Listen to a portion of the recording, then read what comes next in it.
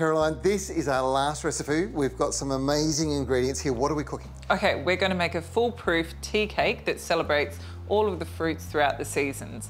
Okay. It's got equal quantities of self-raising flour. Okay. Yeah. And then raw sugar. You can use caster sugar or brown sugar. I just love the textural crunch of the raw sugar. Yep. We've got five eggs from your chooks. my chooks, Thank you, chickies. and then uh, 250 grams of melted butter. I used to um, cook in a kitchen and I didn't have any time. So all of my cakes had to really look after me, not me look after them. Yeah. You don't want to overmix flour because it can go a little bit tough. Okay. If you wanted to, you could just give them a little whisk before we put them in. Look at the texture already. It's like really come together quickly. It's just beautiful. And Yep. then straight into our lined baking dish or cake tin. This is about a 20 centimetre cake tin here. Yeah. Push this into the corners. Yeah. And then the fun begins because we just get to poke stuff into it. Because it's such a quick and easy recipe, Yep. we do need to move quickly so that Okay. the self-raising flour has the best chance of rising up through all the fruit. So what can I do?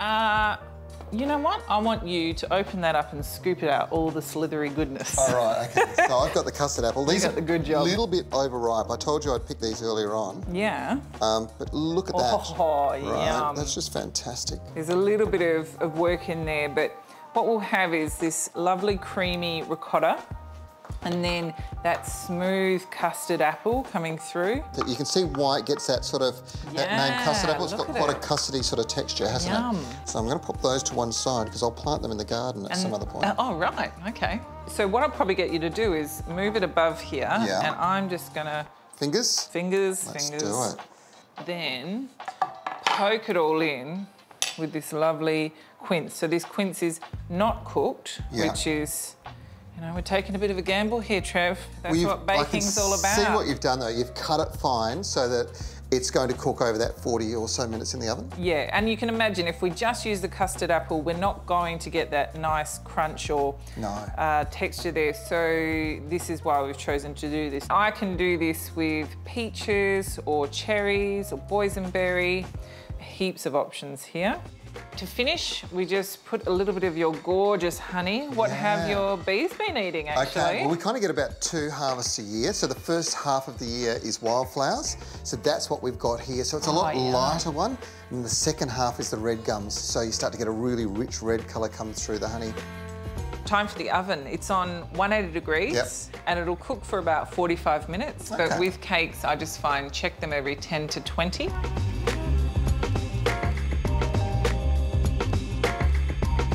Trevor, let's get started on the curd. Mm-hmm. It's a play on the traditional lemon curd, but we're going to use that lovely rhubarb that we picked earlier. Okay. And I'll just get you to chop that into, say, one inch pieces. And the aim is we're going to keep as much of this red as we can. Mm-hmm. But rhubarb is one of those things that it does lose a little bit of its vibrancy once, Starts once it starts cooking. bit, does it? Yeah, okay. Take that. There Oh. we go. Great. This can be done in a food processor, but Thermomixes are nice and quick. And we're going to blitz this up till it's nice and fine. Right.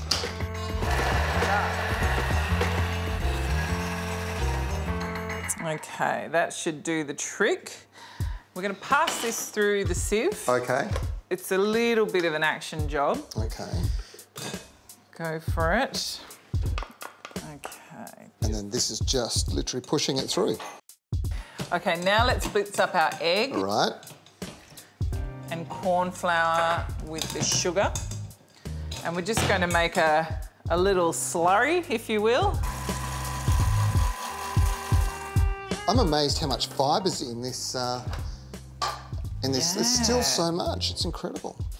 So I've got a double boiler here, and this just keeps it nice and gentle. You can, again, just do it in a straight um, saucepan if you like. Yeah. But I like the double boiler. It gives me a little bit more control. So we're going to put the juice in, and Look at the colour. this little egg, sugar, and corn flour, and I will need the whisk, Okay. monsieur, There we go. and the cold butter. I'm gonna whisk this in slowly. This is uh, probably takes about 10 minutes in total to whisk this, and the butter will slowly soften. You don't want to move away from it though, because it will start to clump. What we're looking for is the consistency that would coat the back of a wooden spoon, and that's when you know that you're done. Okay. This curd's looking great. I think it's time to pair it with the cake. And look at that cake. Yum! That looks amazing. All right. Well, you can let this curd cool and it'll go um, set quite thick. Yep. But I think for this, we're going to use it a bit more like a custard. Okay. Yes. Beautiful. Oh, it smells so good. Doesn't it? like fresh baked tea cake smell amazing. oh yeah. I can't. Mm. Yum. I can't help it. that is just incredible. yeah, that's fantastic.